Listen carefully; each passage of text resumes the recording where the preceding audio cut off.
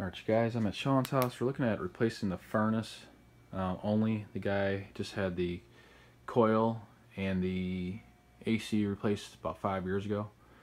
And so we're looking at 80% uh, efficient furnace. So we need some new flue pipe, basically about three elbows and about 10 feet of four inch pipe. Um, new furnace. So this is 34. We have all the way up to the coil right here uh, so about 50 inches to work with here. And want to put a new condensate drain on there uh, for them just because that's a little bit undersized. And then modify the electric and the gas going into the unit. And then the return air drop is a big deal here. So this comes over right from here down we're going to replace. Uh, we can't take this elbow off just because there's return actually pipes into the back of this elbow or this offset.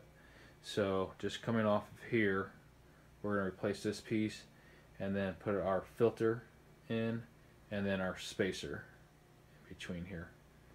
Um, and then got some good airflow at that point in time. So this is supply that's actually coming up and going over. And just behind that is return that comes over comes back behind the unit and actually goes back up and then into this section. So got that.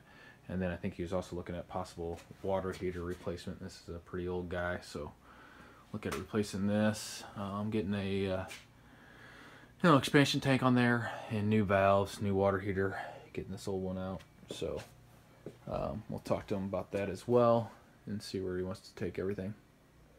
That's it